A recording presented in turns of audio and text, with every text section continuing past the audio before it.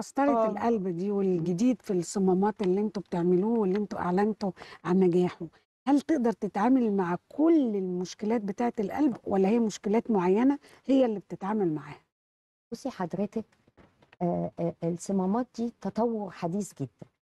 قبل كده ما كانش حد بيحلم إنه أركب الصمام بالقسطرة مش بالجراحة. هم أصلا مستصعبين تركيبه بالجراحة. يعني واخدة بالك؟ الصمام الصناعي ده ليه عمر. ده حاجة إيه؟ أنت لما تشتري ثلاجه في البيت أو غسالة بتقولي عليها إيه؟ معمرة. مم. صح. فالصمام دي بيعي- بتعيش معاكي قد إيه؟ مثلا. مثلا. 10 سنين مثلاً. 10 سنين. آه. كذلك أي حاجة مصنعة هي الماكسيمم بتاعها من خمس ل 10 سنين. أنت شارياها على إنها معمرة. هل هتجيبيها النهارده. وتقعد 30 سنة لا 10 الصمام الصمام الصناعي اللي بيركبه الجراح بعد 10 سنين هيبقى. هيتشاف هيتغير. كمان 10 سنين.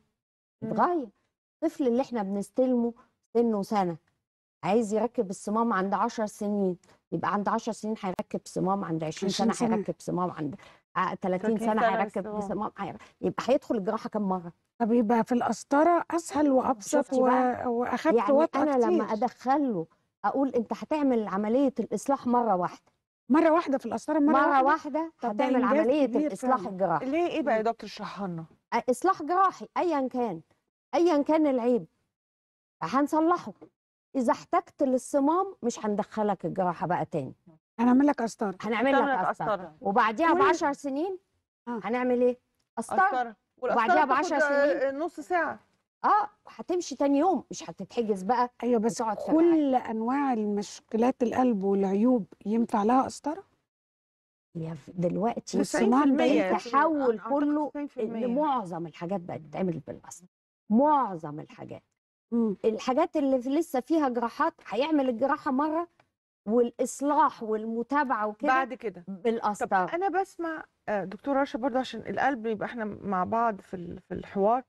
أنا بسمع إن في عمليات بتتعمل للأطفال وهم في رحم أو في بطن مامتهم. آه. لما يحصل لما يكتشفوا إيه.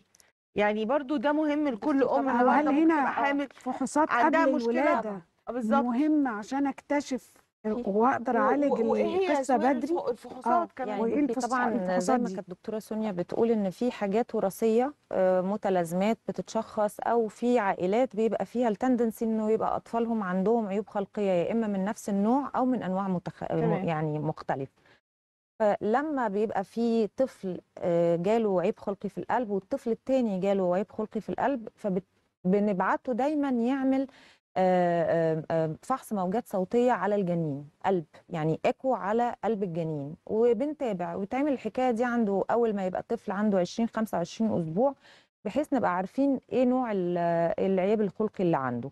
وبرضه بيعمل سونار اللي هو رباعي الأبعاد أو الفور دي ultrasound اللي بيتعمل اللي هو كان زمان 3 D ودلوقتي 4 D بيعملوه آه، آه، طبعا دكاترة ال fetal medicine أو طب الجنين أو ال- النساء آه، والتوليد. في بعض الحاجات ممكن نتدخل فيها أثناء الطفل ما هو جنين. حاجات إيه؟ يعني يعني طبعا على حسب المراكز. ممكن يتم نقل دم ليه. ممكن يتم آه، عمل عملية آه، جراحية للحبل الشوكي. ممكن عن طريق المنظار يعني آه، بيخشوا بالمنظار جوه ال- ال- ال- ال- الرحم؟ الرحم ويعملوا العملية بالمنظار. بالنسبة للقلب طبعا في مراكز متقدمة ده طبعا الكلام ده محتاج براكتس رهيب ومحتاج مراكز آه، عالية. عالية جدا جدا. آه، ممكن طبعا المثانة بيبقى فيها انسداد. ممكن برضو تتوسع عن طريق ال- المنظار. ال- المنظار ممكن الحالب يبقى فيه آه، ضيق وعامل آه، تضخم شديد في وتكيسات في الكلى عند الأطفال فدي دي كل دي آه، آه، حاجات ممكن تتعمل للطفل آه، الجنين لا آه، والقلب كمان. والقلب طبعا توسيع الصمام. stenosis ال pulmonary stenosis طبعا. أو تفتحي ال PFO لو PFO. عمليات آمنة يعني أنا وأنا حامل في ابني وبيحصل له كل العمليات دي أنا صحتي آمنة وهو صحته آمنة؟ المفروض ما هي ما هي والا ما نتدخلش يعني نسبة نجاحها هي حاجة أنت آه، بتمنعي مصيبة كبيرة. بحاجة معقدة. يعني بقى يعني بصي يعني كل المشاكل اللي قالتها رشا يسأل في ذلك آه. طبعا اللي بيشتغلوا ال- التخصص. الطب ال- ده. الجنين. آم، يعني آه، أظن إن هم بيبقوا فعلا عندهم حاجات آه، يعني طبعا اللي بيتدخل ده بيتدخل لأن الطفل لو ما اتدخلش فيه دلوقتي يعني مش اوبشن هيموت. هيموت. دكتور هيبقى طفل